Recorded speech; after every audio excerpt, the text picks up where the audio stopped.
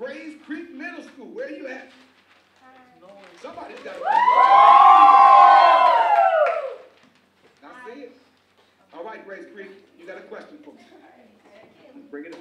What is your go-to method to resolve conflict? I think the most important thing is being honest. What is actually, what are you actually mad about? What is, what is the actual conflict?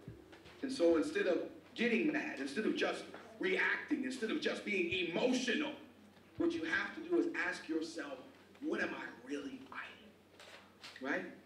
So instead of doing something that could make it worse, what you want to do is figure out exactly what's wrong and address issue.